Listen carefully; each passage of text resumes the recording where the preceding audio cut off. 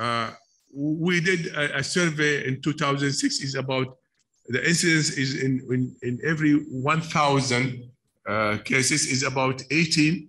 And then in 2012, 2016, there's one study showed that it's about now 28.39. uh, uh, So in Qatar, we, it, it, when you give a message, just a message to the, the, the kids, sometimes it's very difficult to accept that message.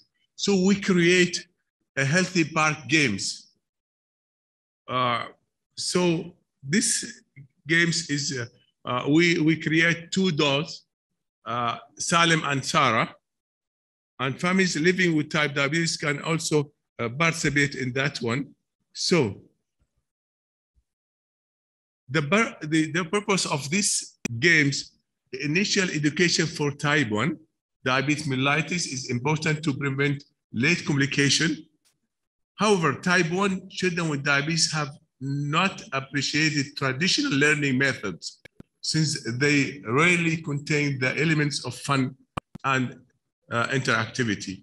So, so we, with this study, we developed and implemented and evaluate the edu, we it edu, edutainment tool for the children with type 1. So the, the method that we, we did, so we have three games, the healthy park, the slides, and the ladders and, and, and one card game matchup. The game was diagnosed to provide essential information about food, exercise, and insulin. A total of about 46 testers, that means children, evaluated the degree of entertainment, usability, and clinical usefulness of the games. So the material and the methods that we use in the game, uh, just give you before, when I uh, we look to the research and the literature research about the games using for the education of children, there is maybe three or four, one in, in Japan, another in the United States, and most of them is uh, focusing on the, uh, on the online games uh, or electronic games. There is no physical games that give the children to play with. So the Game Health Work was launched by Qatar Diabetes Association, Qatar Foundation to support children and families with diabetes based on the in the blush companies Salim, company Salim and, and, and Sarah, who have been accompany the games, provide education and awarenesses of this various lifestyle children, uh, changes children and their families, uh, and uh, encourage them to embrace it. So the health park, this game could be played by two uh, uh, to six players. Salim and Sarah and their friends are having a race to teach the end of the path, the starting block on the board, and also we we, we put a, a, a big board, a wooden book board, so they can they can play it uh, uh, not only in the small one in the big one. So when that we use it in our camp. The players agree on the one to throw the dice first. Before the player makes a move, she picks a card from the pile and, and hands it to the player opposite to him to, ask him her the question on the card.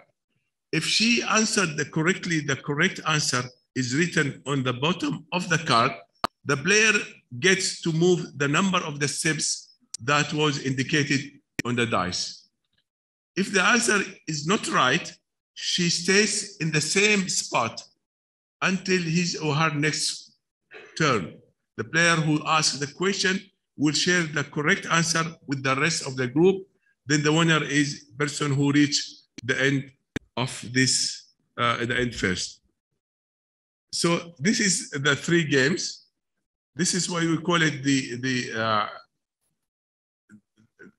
the the the, the cards with the with with the uh, the games.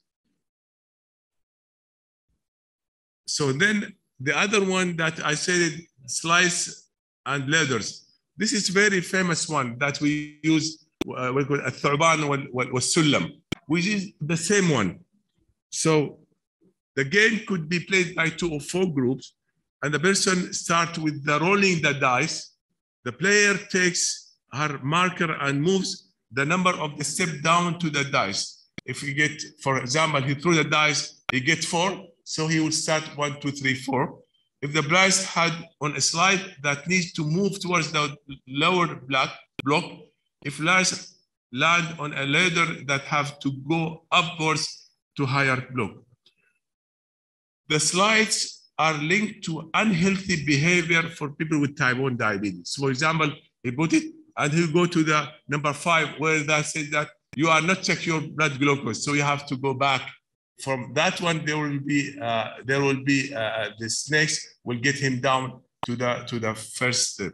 Slides are linked to the unhealthy behavior for people with type 1 diabetes, children, and lasers show healthy behaviors. If example, he, he, he threw the slides, the, uh, the, the, dice, and he get five, and then he move where he can go to the, there's a laser where he, that's mean, uh, for example, he, he eat healthy food. So he will climb that ladder up to the number, the, the number that he shows in the slide.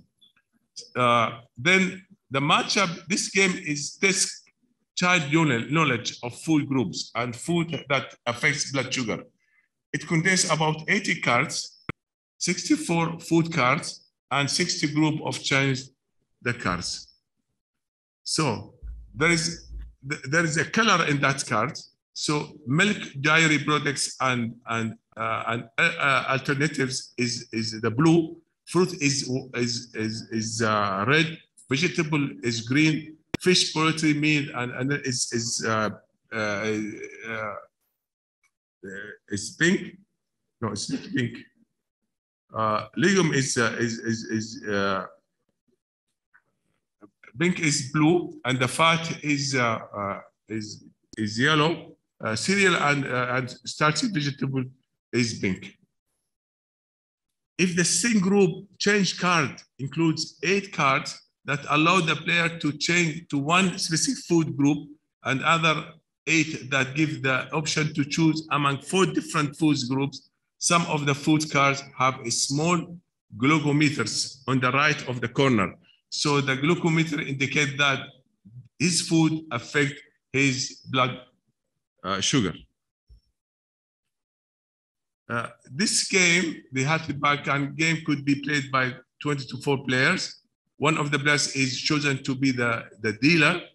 The dealer gives each place seven cards, passing down so you can uh, uh, so you cannot see the other player's card. The remaining cards will be placed on the central pile and then uh, also face down. The dealer turn over the top and card of the pile and places in the discard pile. Uh, pile. The first place, uh, player, the youngest, of the table looks to at his or her cards and see what whether he or she has a card that belong to the same food group that they discard. So if she does not have a matching card, she can either use a group change card, she would change the card, and, and can pick up a card from the central pile, then the turn moves to the next player. The player who has used up all his or her cards first is the winner. That means she give a good answers. All this, uh, actually, all these games is supervised by our one of our health educator to show him exactly how they, they play. This is the, the healthy card park. We give every every kids who is participate in our camp, the Al camp, I remember there is there is one uh, uh, kids from from Egypt. They came to our participate in our uh, in our camp. We give him that. But so let me show you. So it's.